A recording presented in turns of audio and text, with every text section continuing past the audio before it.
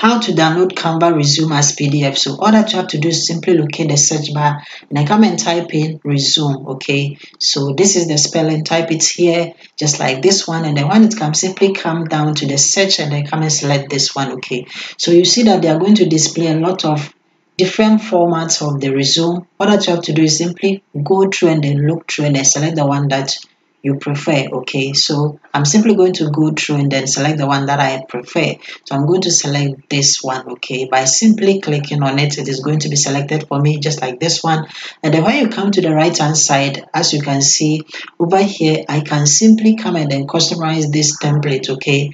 And then make it look like my 100% fully customized. So simply come and click on customize. And then over here you can simply come and then change anything the name everything. You can simply double click on it and then change it to fit your preference okay? So after you have finished editing everything like the picture the contacts everything here after you have finished editing it all that you have to do is that you have to download it okay? So to download it all that you have to simply do is to simply locate the top right hand corner where we have the share and then come and then click on the share. So when you click on it this option will pop up and then you can simply come down here okay simply come down to where we have the download under the copy link where we have the download and then come and click on the download so when you click on the download this will come and then the file type when you come here the PDF standard, the down arrow, you can click on it and then you can choose any file type that you want, okay?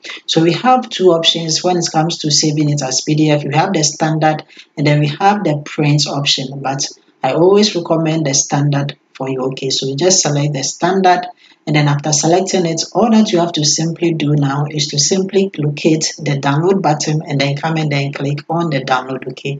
So when you click on the download, this PDF is going to be downloaded for you just like this one. And then to open it, all that you have to do is simply locate the download button.